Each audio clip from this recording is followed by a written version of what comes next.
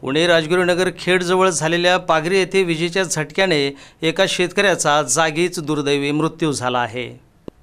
राजगुरुनगर खेडजवळ असलेल्या पाघरी येथे विद्युत पंप चालू करताना बसलेल्या विजेच्या धक्क्याने हनुमंत घोलप या शेतकऱ्याचा जागीच मृत्यू झाला आहे हनुमंत घोलप हे सकाळी आपल्या शेतात काम करीत होते. त्याच दरम्यान शेतात पाणी देण्यासाठी विद्युत पंप चालू करण्यास गेले.